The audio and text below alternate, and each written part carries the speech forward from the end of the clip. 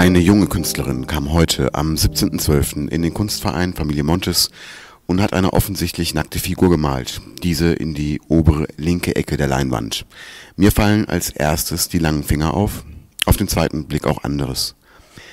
Hierzu habe ich im Laufe des Gesprächs Antworten bekommen. Und wie kam sie dazu, eine nackte Figur zu malen? Außerdem hat sie eine weitere Figur gemalt, in grün, auf der Höhe des Schriftzuges des Projektes Ein ganz normaler Herbst, nur anders 2020. Wie ich erfahre, hat sie damit eine Einladung an andere Künstler geschaffen. Ich habe sie als erstes gefragt, warum sie ihre Figur da platziert hat, wo sie ist. Hier ist die Künstlerin Merit Kern. Ähm, also ich glaube, da war es auch ein bisschen ähm, zwangsgegeben sozusagen, weil eigentlich, ja, wie man sieht, kaum noch irgendwie eine weiße Fläche frei ist.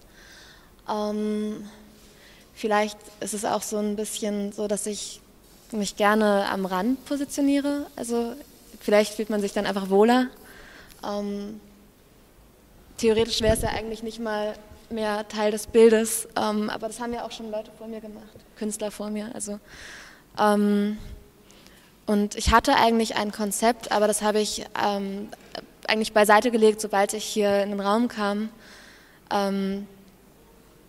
Und ich glaube, es ging auch relativ vielen so, was ich gehört habe. Ähm, und habe dann, glaube ich, einfach nur gefühlt, also ge gemalt, wie ich mich fühle. Ähm, also so. Ja, also in der Sekunde, wo ich halt dann male. Ich denke dann eigentlich gar nicht nach, sondern ich habe halt, ich sehe auch gar nicht, was ich male. Also ich habe keine Idee, was ich malen möchte, sondern es kommt halt dann sozusagen mit jedem Farbauftrag. Ähm, dann kommt ein Gesicht ich wusste, dass ich eine Person male, also vielleicht einen menschlichen Körper. Ähm, ich will auch gar nicht unbedingt definieren, also ich weiß auch nicht, ob ich Frau, also welches Geschlecht sozusagen eigentlich auf das Bild kommt. Das ist auch nicht so der Vordergrund. Ich glaube, ich mal oft nackte Menschen, weil ich ähm, vielleicht einfach diese Entblößung auch so eine Art, also man ist halt frei von manchen Sachen, also man ist frei von diesen gesellschaftsgegebenen ähm, Kleidungen, also was man halt so tragen kann, was man sich leisten kann, aber gleichzeitig ist man halt auch einfach entblößt und sozusagen ähm, für die Blicke frei, was einen auch irgendwie nackt macht, also halt plakativ dann. ja, ähm, ich neige oft dazu, wenn ich male, illustriere, ähm, darstelle, sehr große, klobige, lange Hände und auch Füße zu malen. Ich weiß nicht, es ist ähm, das mache ich einfach. so, ja, ich mag das irgendwie. Ähm, das hat auch so was ähm, Unförmiges. Also das ist so, ja, also hat so was Tollpatschiges. Also man, aber auch gleichzeitig drücken ja auch größere Hände Stärke aus. Also zum Beispiel sagt man ja auch, ähm, dass willensstärkere Menschen, also das auch durch größere Hände sozusagen ähm, gezeigt werden könnte. So.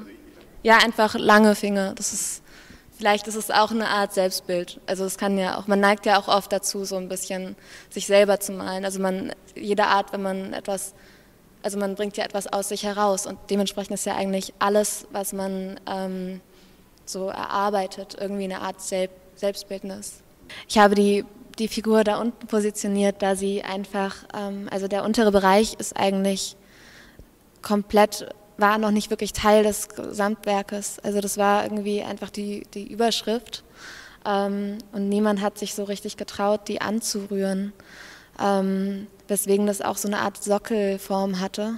Was ja, also eine, Leinwand hat keinen Sockel. Also das ist ja keine Skulptur. Ähm, also man könnte natürlich eine machen, mit, also es wäre dann vielleicht eine andere Art von Kunst, aber ähm, ja, einfach um den Raum da auch mal einzunehmen. Und dazu ist sie halt auch ausgefüllt, damit auch ein anderer Künstler auch sich entscheiden kann, dann darauf wieder drauf zu malen, ähm, zu sprayen oder sonst was zu tun.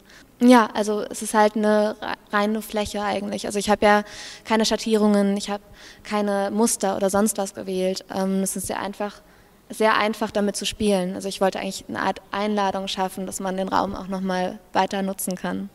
Ähm, ich hatte irgendwie das Bedürfnis nach Grün. Das, also ich hatte so ein Kaiserblau, ähm, ein starkes Pink, also so Magenta und halt dieses Grün.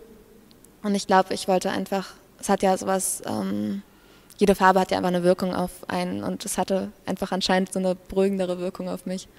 Ich weiß nicht, vielleicht war mir auch einfach der obere Teil zu farbimpulsiv, ähm, weswegen ich vielleicht was Beruhigenderes brauchte. Also kann ja auch sein, man spiegelt ja oft seine Wahrnehmung nochmal dann auf das Bild. So.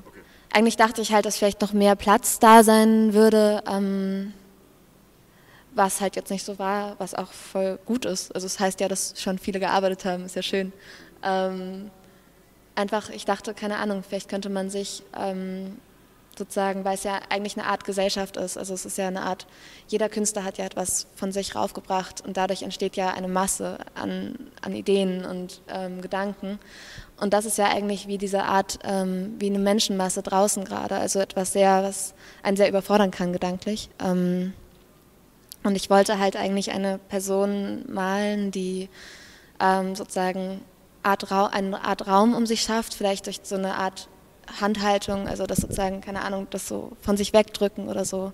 Und dadurch halt so eine Art Raum um diese Masse entsteht. Also irgendwie so, keine Ahnung, nicht in der Mitte oder so, sondern so äußerlich. Also so eine Art Überforderung durch dieses ganze Bild und dann diese, ja, genau, so versuchen.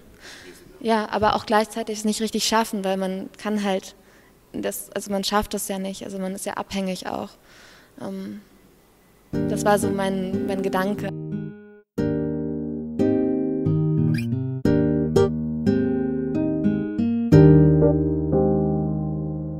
Das war interessant und reflektiert. Merit ist Anfang 20 und studiert an der HFG, wie sie mir später noch verriet. Sie studiert zusammen mit Jakob Diekmann, welcher auch heute an der Leinwand gearbeitet hat und den ich gleich zu seinen Motiven befragen kann. Der Apfel und der Hammer spielen als Symbole dabei eine Rolle. Übrigens ist die Abgrenzung der Leinwand mit den gelben Klebebändern längst Geschichte. Die Künstler haben sich ihre Freiheiten genommen und werden sie sich weiterhin nehmen. Bei Ein ganz normaler Herbst, nur anders 2020.